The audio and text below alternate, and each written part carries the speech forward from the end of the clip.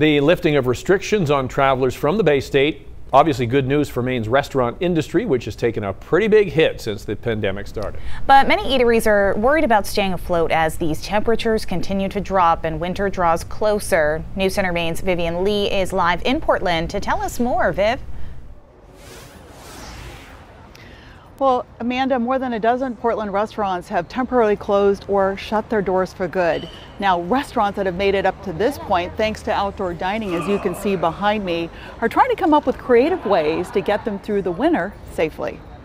Like many restaurants, Little Giant only offered curbside pickup for weeks until being allowed to reopen in June.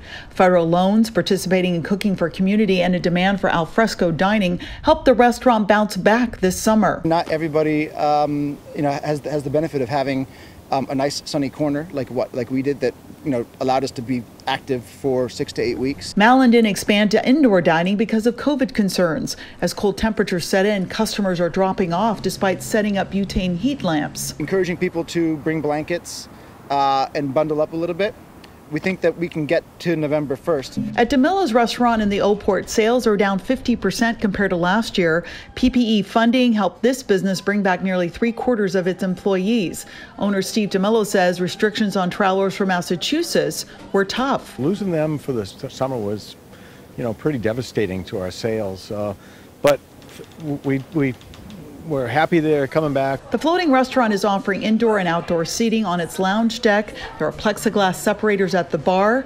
Natural gas heaters and plastic coverings are being used to help keep diners who still prefer to eat outdoors toasty. Well, I'm planning to bring a lap robe or a blanket and uh, try it out. Also looming, streets that were closed or used to expand outdoor seating for restaurants will reopen to traffic November 1st. Malin, in the meantime, may reconfigure an outdoor courtyard to use for customers through the winter and possibly hold catered events indoors for limited groups to survive until next year. One table, one pod, one group of people who are familiar with each other. Now, Hospitality Maine is lobbying the state to allow restaurants to expand their indoor seating from 50 people right now per space to 50% of their occupancy with six foot distancing.